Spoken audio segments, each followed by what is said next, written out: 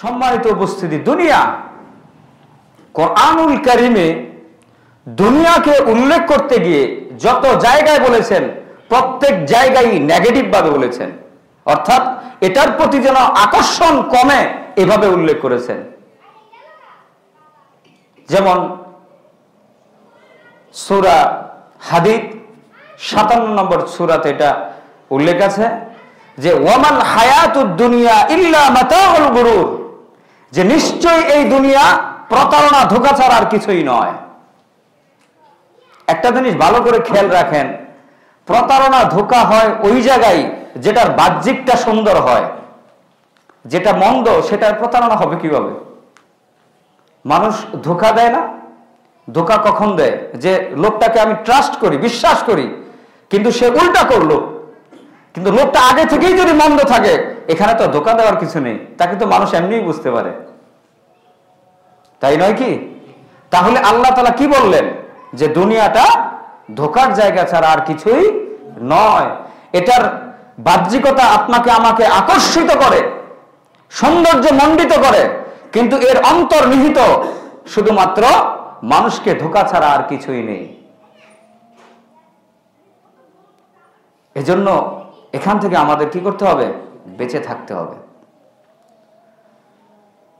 মুসনাদে আহমদে একটি হাদিস এসেছে যে শব্দত দহাক রদি আল্লাহ আনহু, তিনি বর্ণনা করেন যে আল্লাহ রসুল আমাকে বললেন, ইয়া দহাকু মা তো আমুকা তোমার খাদ্য কি?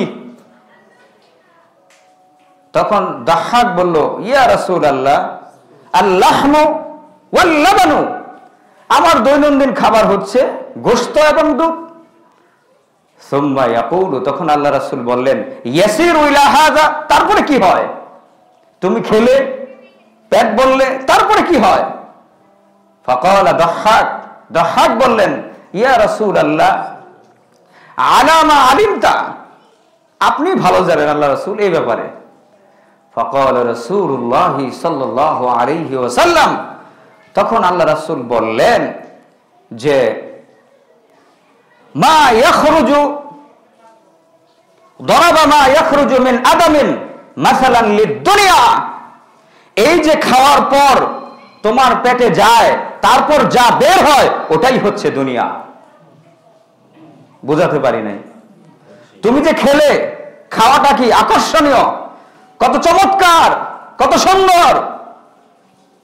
কিন্তু খাওয়ার পর একটা পর্যায়ে যখন চলে যায়, তখন সেটা কি হয়ে যায়? বের হয়ে যায়। আর যা বের হয়ে যায়, সেটাই হচ্ছে দুনিয়া। কোথায় আছি আজ আমরা? মসজিদে আসার জন্য রিকোয়েস্ট করতে হয় মানুষকে, আজীব এক দুনিয়া। জ্ঞানী ব্যক্তিদেরকে মসজিদে আসতে রিকোয়েস্ট করতে হয়। কষ্টের বিষয়। আরও তো দিনের অনেক আহকাম আছে, ওগুলো কবে পালন করব? এজন্য দুনিয়ার ব্যাপারে কি থাকতে হবে? সাবধান থাকতে হবে।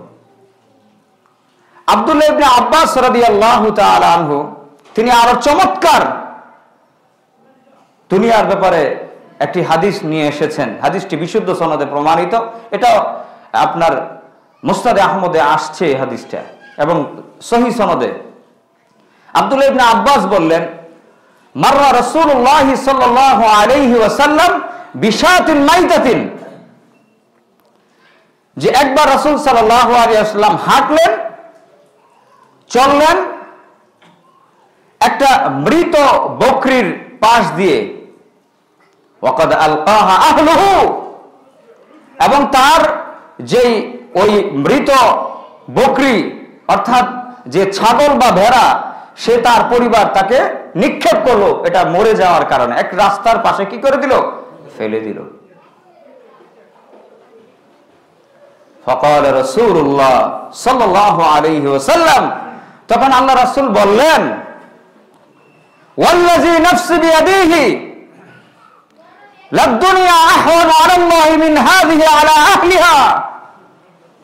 এই যে পশুটা পড়ে আছে মৃত, তার মালিকের নিকট যেমন এটা গ্রহণযোগ্য নয়, অপছন্দনীয় এই পৃথিবীটা আল্লাহর নিকট তার চেয়ে বেশি অপছন্দনীয়।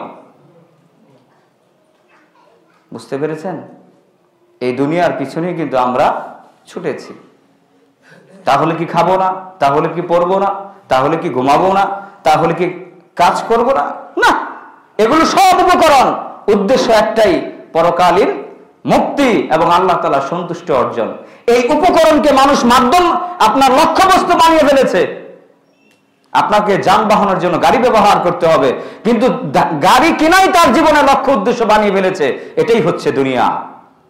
তার বাড়ি লাগবে, থাকার বাসস্থান লাগবে, কিন্তু বাসস্থান বানানোর জন্যই তার জীবনকে লক্ষ্য উদ্দেশ্য বানিয়েছে। এটাই হচ্ছে দুনিয়া। এজন্য মাধ্যমকে কখনো কি কি করা যাবে না? লক্ষ্য টার্গেট বস্তু বানানো যাবে না। সাবধান থাকতে হবে। يغمرني من فيض ضياء آيات المولى